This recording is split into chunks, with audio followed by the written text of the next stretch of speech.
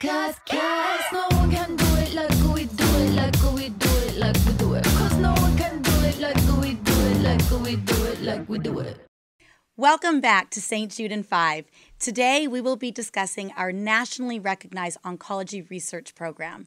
Through partnerships with some of the world's top research institutions and phar- pharmaceutical manufacturers, the program is bringing pioneering clinical trials right here to St. Jude. I am with David Park, our amazing medical director for the Crosson Cancer Institute. Thank you so much for being here today.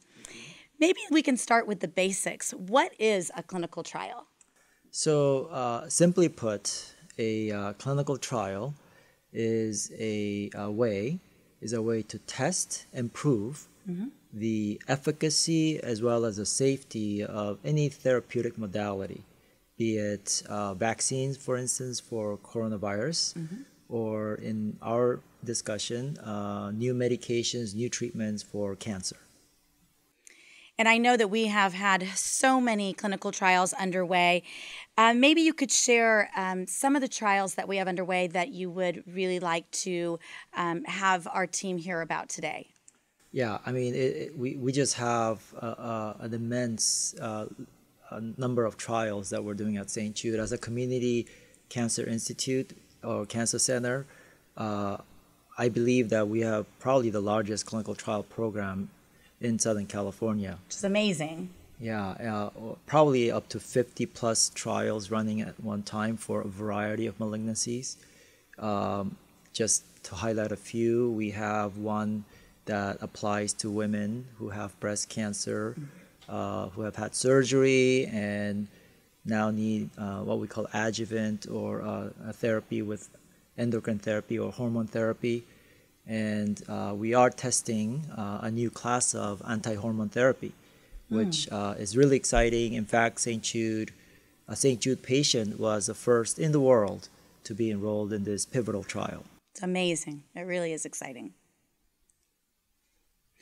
And so, with that being said, uh, it is exciting that we we are on the forefront of such clinical trials with all of the work that we have underway already, what do you see is coming in our future at St. Jude and in the way of clinical trials? Right. So, um, I mean, we're we're we're an energetic bunch. Uh, we don't rest here. And so now, for us, the next level in clinical trials. So there's different phases in clinical trials. There's a phase 3 mm-hmm. phase two, and and the most challenging clinical trial is uh, a phase one trial. Is to have a phase one program where we're, we're testing the, the, the first uh, time, sometimes in humans, that we're testing a potential uh, a drug that may help mm. uh, in the treatment of cancer. So phase one trials are generally limited to academic centers like mm-hmm. universities, but uh, at St. Jude, uh, we have actually uh, launched, and we will soon launch our phase one program literally within weeks. And, and that's just a testament of the uh, reputation that St. Jude has gathered through all these years, built through all these years in the clinical trials community, both in academia as well as pharma. And uh, yes, I mean, we're very excited. We'll be the regional phase one center for Providence and Orange County.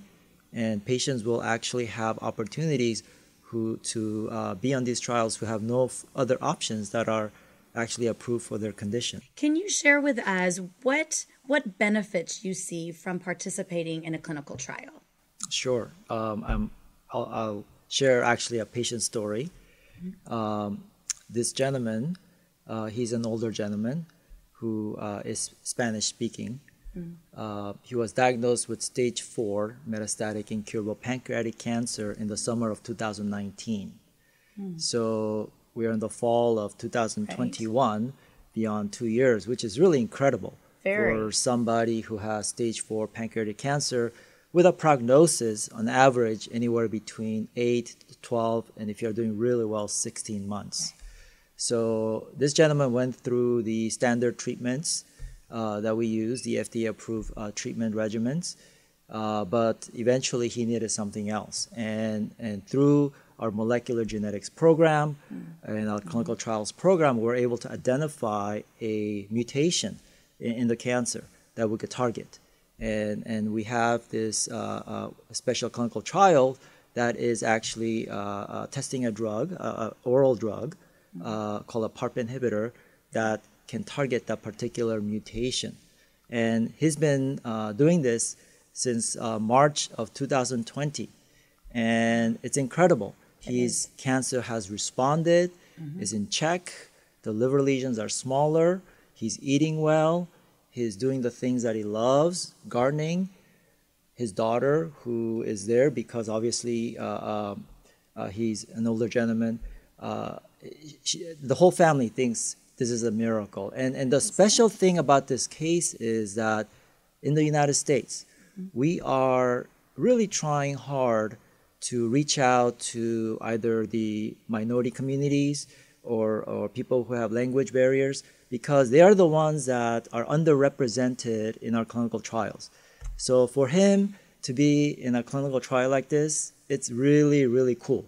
And, and, and the whole team is so happy. Every time I see him once a month, I mean, it, it's just he has no side effects. I'm not saying that every trial drug that we use has no side effects, but uh, this is really a neat story, a story of personalized medicine, a story where we are reaching out to the uh, uh, patients who are underrepresented in our trials, uh, and we're really proud of that.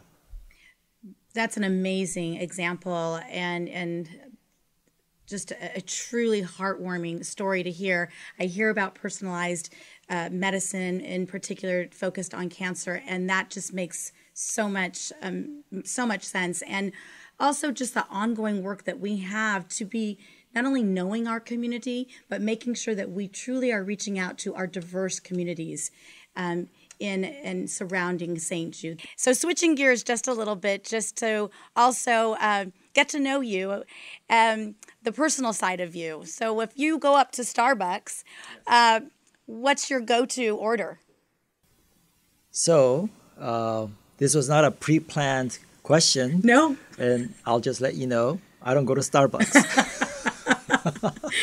Well, we're two peas in a pod. I don't either. Yeah. So that's all right. I stick to so my tea. I, I, I don't know how to order at Starbucks.